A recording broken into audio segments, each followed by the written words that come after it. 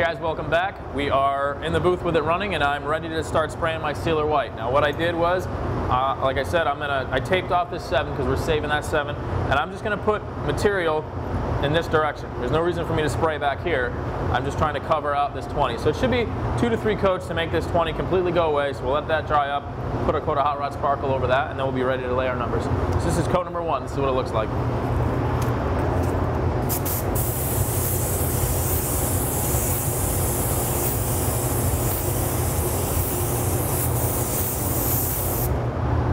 Hey guys, welcome back. As you can see, coat number one is totally dry, and this is exactly what we want. You want this product to be dry to the touch before you go on to your next coat. And that's gonna help with two things. It's gonna help with how fast the product dries, and in terms of film build, it's gonna allow this to really lay down nice and flat and smooth. There's no reason to go and put four or two heavy, heavy wet coats on, and then you're gonna be waiting an hour for this to dry, where this is, I mean, these are booth conditions, so we have air movement in here, and I have a little dryer that we use, um, and that was dry to the touch. This has been five minutes, not even five minutes. So obviously with, with little less airflow or open shop conditions, it's gonna take a little bit more time, but that's why we want you to work in lighter coats. There's no reason to go ahead and really hammer on multiple coats or just one wet, wet heavy coat, because it's just gonna hurt you in the long run. The other reason I put my coat on, my first coat, a little lighter, is just in case there's any kind of surface contamination that you didn't get rid of, it's easy to see that right away when you hit your first coat, and it's easier to dry uh, that lighter coat of material and go ahead and sand something out or kind of fix something that, that you didn't necessarily see, where if you put a, a medium heavy coat on there, now you have to allow that to dry, and there's always a chance that that's going to skin over and you're going to tear it as you start to sand it. So we want you to work in lower, you know, lighter coats, thinner the better. I'd rather have you guys do three or four medium coats than two heavy, heavy wet coats. So this is going to be coat number two.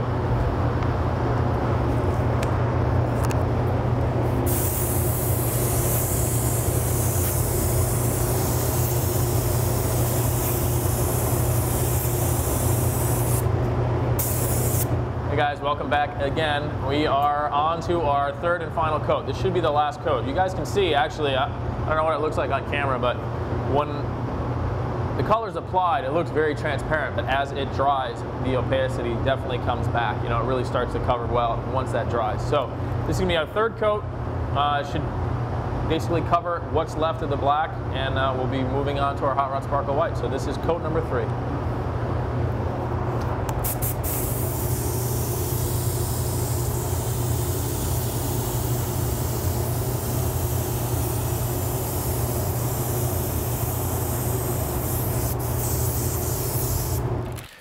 Guys, welcome back. We are all done spraying the black, and actually all I used for this was our Wicked Black. So that was a piece of cake to do the sevens, just to mimic the other seven. And I just, I'm in the middle of untaping this as we speak so I can get ready to actually apply the clear coat. So I just wanted to touch base again on what it is that we did. This was a base of our AutoBorne Sealer White. And the reason I chose the AutoBorne Sealer White is a couple, couple reasons. A, it dries to a very nice, smooth, slick finish, uh, and it, it has very little texture, so it's very ideal for doing graphics over that. Again, so the fact that I had to tape out and cut these by hand, the black, I had nice, clean, tight lines, and I don't have to worry about anything because that sealer is just a nice, uh, hard surface, uh, uh, very durable in terms of taping on it and not leaving any kind of tape trace marks. A lot of times, certain colors have a tendency to stay a little tacky, and uh, the sealer does not do that. So it's a very nice, uh, even surface to work on. So we did the AutoBorne sealer. You guys saw that. It was covered until we got rid of the, the two and the zero. Uh, I let that dry. I did a drop coat of our Hot Rod Sparkle White just to give an effect coat. And again, it's probably not very visible on camera because it isn't cleared yet. But that was what this original uh, Numella had for the background. It was a Hot Rod Sparkle White. So we taped that out, did our numbers, 7-7 in our uh, Wicked Black, and now I'm ready to go ahead and clear. So we had plenty of dry time. We actually let this sit overnight before I came in and did my numbers. It's the second day now. We, we started this late in the day. So this has had plenty of time to dry. Typically between doing the graphics and everything with good air movement, I would say about an hour before you were to go ahead and tape over the top of this to, to do any kind of stencil work like that. But it's been overnight. So now what I'm gonna do is put my first coat of clear, and if you guys remember, I said I was gonna go right to the edge of this line. So I'm gonna put one coat of clear on, let that get almost tacky to the point where I'm ready for my next coat. And then what I'm going to do is actually pull this tape and pull this fine line to reveal that black pinstripe that's on the edge of this and I'm going to put my second coat to the edge of that black. So this way what we're doing is we're going to just stepping that clear, that transition, so it won't be such a hard line. So like I said, we're not clearing this whole door, we're just staying inside this repair area or the, the number area so it'll make just a little nice easy transition so there's not so much of a big hard graphic line. So I'm going to go ahead and get the other side untaped get this all tacked off, mix up my clear, and uh, we're ready to go. And actually, uh, we'll talk about the clear real quick too. Is I'm going to use a solvent, a 2K uh, solvent-based clear, and that's our PPG EC550. That's what we recommend. That's what we use here on all of our water. It's actually part of their EnviroBase system from PPG, and it's designed for water-based and waterborne finishes. And it's a really, really nice crystal clear, clear coat, and very durable as well. So I'm going to go ahead and get that mixed up, and we'll see you guys in a minute. Okay guys, welcome back. We are back in the booth uh, for the last session in here now, and that's going to be applying our top coat, our clear coat. Um, so just really quickly, we'll run through again, kind of be repetitive on this, but I want to let you guys know exactly what it is that we did. We based all this out in our waterborne sealer white, and then we put two coats of Hot Rod Sparkle over the top of that.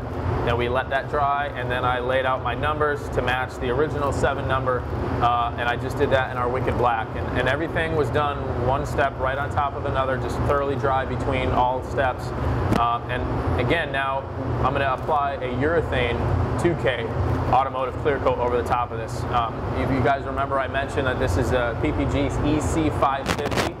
Uh, that's what we like. I've sprayed this clear for a long time, and I like this clear for going over waterborne products, water-based products.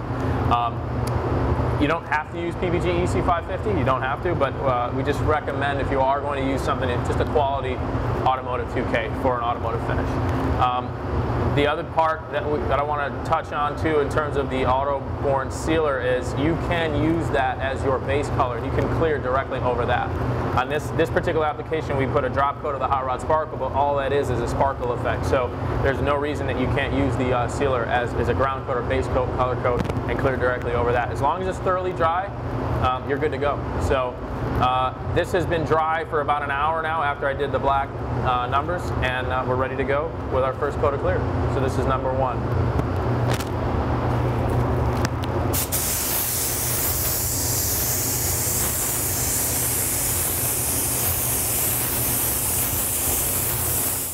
Hey everyone, welcome back. We are done with this project. You guys can see this is what it looks like after two coats of our uh, 2K urethane clear coat. And we gave a quick little bake. It's almost dry and it's pretty good. We're gonna let this dry up overnight and I'll come in tomorrow and hit these edges with a little bit of 2500 just to make that transition a little smoother and, and even uh, without any kind of a tape edge. So just a quick recap on what we did. Um, we started with our autoborne sealer. That was my first coat of the white, if you guys remember, to cover all the existing numbers and, and get that down. And uh, that is what we recommend for our ground coat. Anytime you guys start a paint job or project, we always recommend starting with our autoborne sealers because they're a great solid foundation because of the way they cover, because of the way they sand and how nice they dry and how smooth of a finish they have. It's a great starting point. So we did that over a 400, 600 scratch is perfectly fine. Uh, this case I did 400 DA and I went back and red scotch padded the edges where I could not get my DA in without having to go onto the existing finish on the door here. Um, again, when I'm using the red scotch pad, you're not trying to dig into anything. All you're trying to do is just knock the shine down, make it nice and uniform and even. Um, for, so again, 400 with a red scotch is fine with that. If you guys are doing a project where you're going over an existing OEM finish, and, and OEM I mean sanded clear coat or uh, sanded single stage, um, and if you're going to use our pearls or our metallics or our aluminums um, without using a sealer first, that's totally fine. Um, but just keep in mind, you're going to want to refine that scratch a little more. So I would step up to a gray scotch pad and 800 dry. Only because sometimes the, the, really fine metallics have a tendency to settle into sand scratches. So if you have, especially if you're hand sanding, if you do have any kind of sand marks that are more linear, you might see it on a side cast where you start to see a little bit of a fuzzy look in the metallic or actually fall into those sand scratches. That's the last thing you can do. Sometimes you don't see that until you clear it. So if you're doing it on a finish like that and you're using a fine product and not using using our sealer, then just keep that in mind. You're going to want to refine that scratch a little more. Usually 800 is, is more than enough. I don't recommend going any finer than that. But again, I just want to reiterate how important and how, how well our sealers work for that. So back to that. Sealer went down first. We gave three coats of sealer, let that dry sufficiently before I applied the Hot Rod Sparkle White. So it was about an hour before I came back in and added my Hot Rod Sparkle White. I did a coat and a half, made sure that was nice and dry. We let that sit for about uh, 45 minutes to an hour. And again, we have good airflow in here, so it's, it's really important to keep that in mind. Um, and I let that dry. I came back and taped out my sevens. I did that in uh, the Wicked Black and let that dry for about an hour before we put two coats of a urethane clear on it. So that wraps this project up. I hope that answers any uh, questions that you guys might have. And again, I'm Chris Arpin at Createx Colors, and we'll see you guys next time.